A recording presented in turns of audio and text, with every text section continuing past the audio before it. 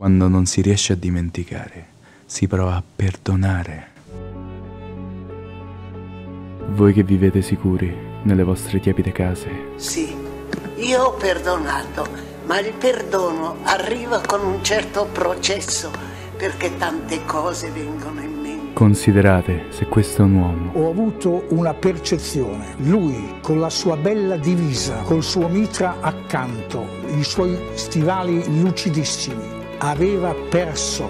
Io, vestito di stracci, affamato e in pericolo di vita, avevo vinto perché ero dalla parte giusta.